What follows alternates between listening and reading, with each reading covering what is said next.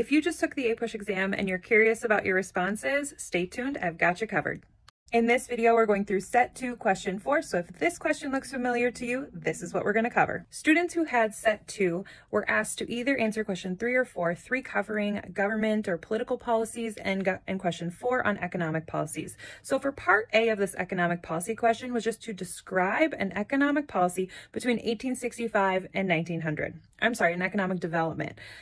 So there's like so much here, so broad, but I will address just a few of the main things I thought of. So I first thought of transcontinental railroads and the impact that had, especially on the integration of the economy between the East and the West, as well as um, the various industries that it spurred industrialization and big businesses. Uh, we can think about monopolies, the different, you know, things like horizontal and vertical integration.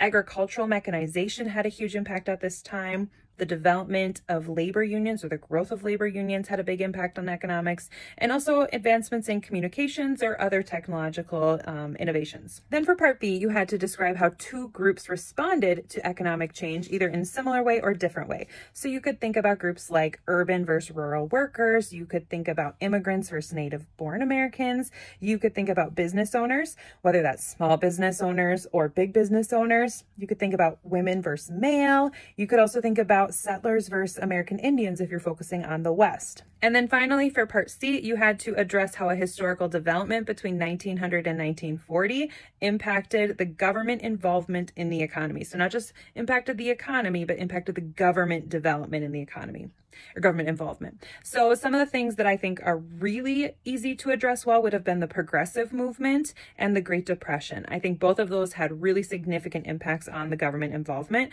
but also I think you could have, you know, made connections between imperialism, World War One, those would have worked as well. Um, maybe even if you address kind of the laissez-faire approach of the government, especially during the 1920s.